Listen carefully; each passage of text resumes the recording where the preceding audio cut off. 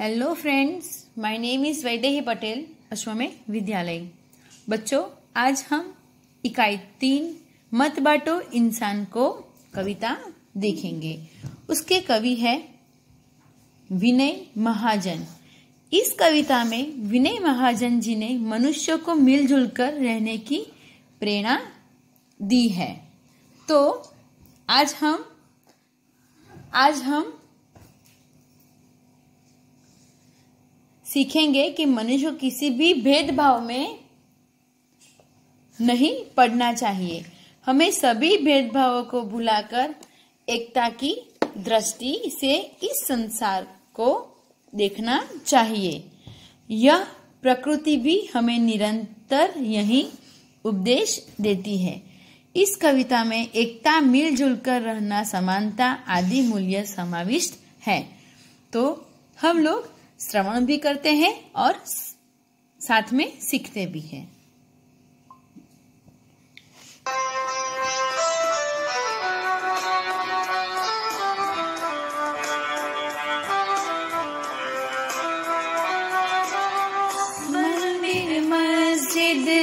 गिरजाघर ने बांट लिया भगवान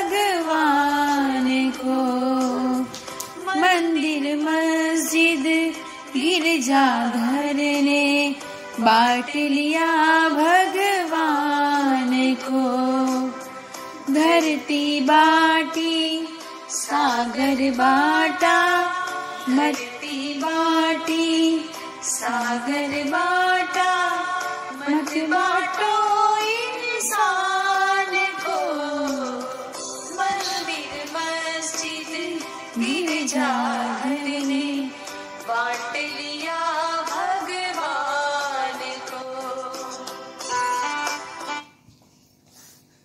कहा है कवि ने इसमें कि इंसान यानी मनुष्य, गिरजाधर यानी कि चर्च ईसाइयों का पूजा का स्थल, बांटना। बांटना यानी कि विभाजित करना, है ना? तो इसमें कहा है कि कवि दुनिया के लोगों से कहते हैं कि भगवान तो सबका एक ही है, परंतु तुमने मंदिर, मस्जिद गिरजा गिरजाघर आदि अलग अलग पूजा घर बनाकर भगवान का बंटवारा कर लिया है। इसी तरह अलग अलग देश बनाकर धरती भी बांट ली है। सागर के भी अलग अलग हिस्सों पर अधिकार कर उसे भी बांट लिया है। अब कम से कम इंसान का बंटवारा तो मत करो। आगे देखते हैं।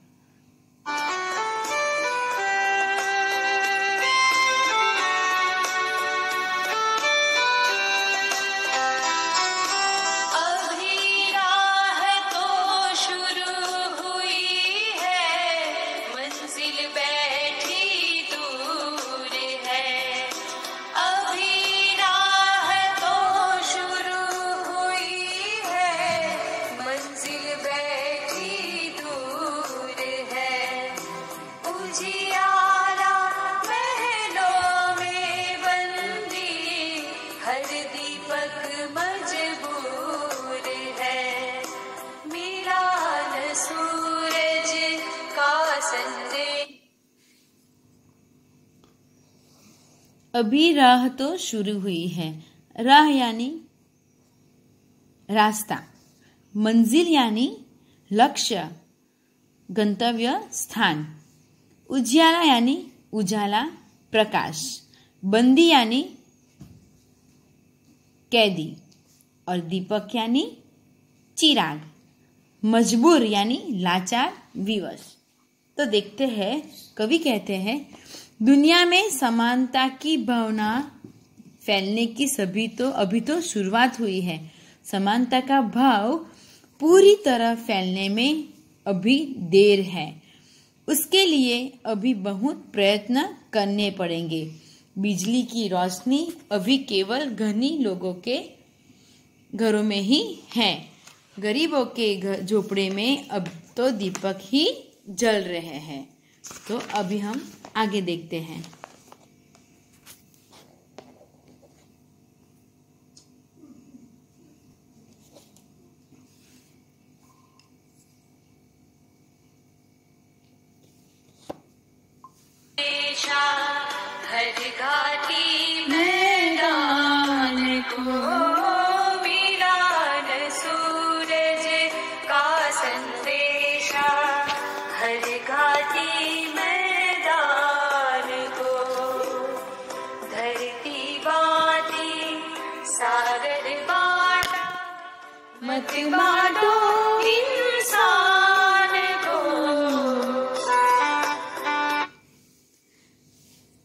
कहाँ है सूरज यानी हमारे सूर्यदेव?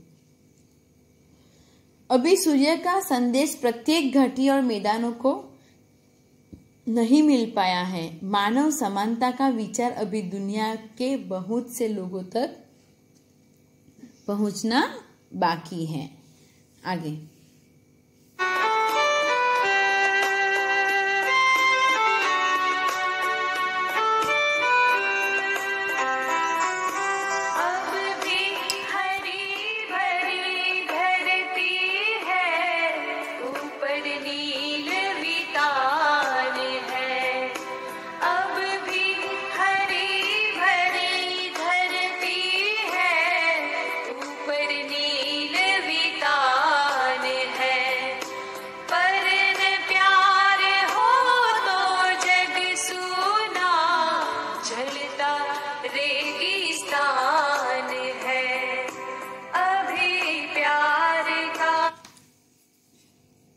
नील यानी कि नीले रंग का। वितान वितान यानी विस्तार। वितान यानी विस्तार। जग जग यानी संसार, दुनिया। सुना सुना यानी निर्जन, खामोश। रेगिस्तान यानी मरुभूमि, रेतीला प्रदेश। तो इसमें कवि कहते हैं कि धरती अब भी पहले की तरह हरी भरी है। ऊपर नीले रंग का विस्तृत आकाश भी पहले जैसा है। लेकिन दुनिया में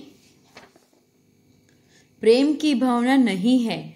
प्यार के बीच हरी भरी धरती वाला यह संसार भी जलते हुए रेगिस्तान जैसा है। आगे। जल देना है हर प्यासी चट्टान को। अभी प्यार का जल देना है हर प्यासी चट्टान को। धरती बाटी, सागर बाटा, मत बांटो इंसान। अभी प्यार का जल देना है। हर प्यासी चट्टान को, चट्टान यानी शिलाखंड, यानी कि बड़ा पत्थर।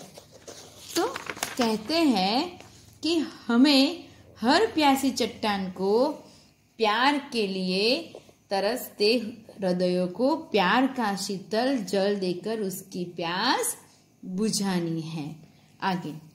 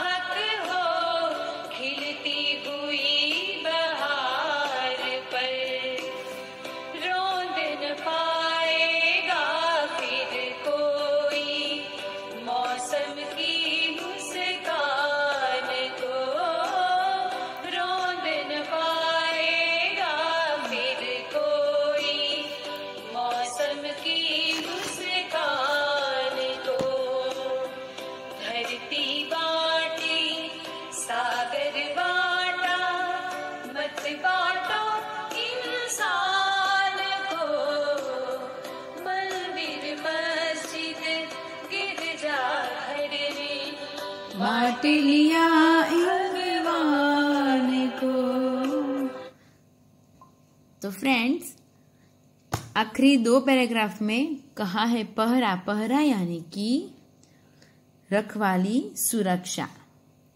द्वार। द्वार यानी दरवाज़ा। द्वार यानी दरवाज़ा। उदास। उदास यानी दुखी। उदास यानी दुखी। बहार। बहार यानी शोभा, वसंत।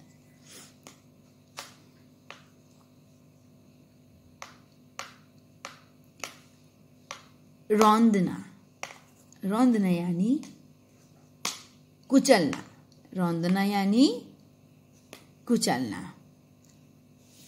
आँगन आँगन यानी घर के भीतर का खुला हुआ भाग तो इस पैराग्राफ में कवि कहते हैं कि समानता के सूरज का प्रकाश तभी सबको मिल सकता है जब सब लोग एक साथ जग जाए और अपना दरवाज़ा खोल ले।